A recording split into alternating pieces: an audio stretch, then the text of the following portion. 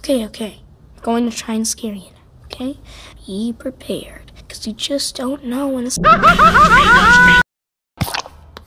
Knew it.